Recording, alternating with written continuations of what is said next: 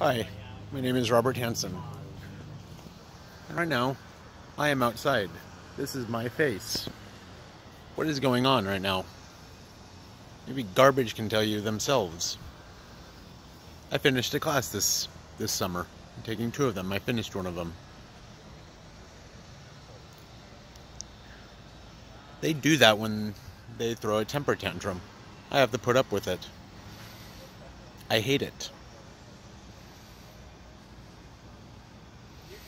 Right now, it really is. Like they're holding me hostage. I can't leave the house right now.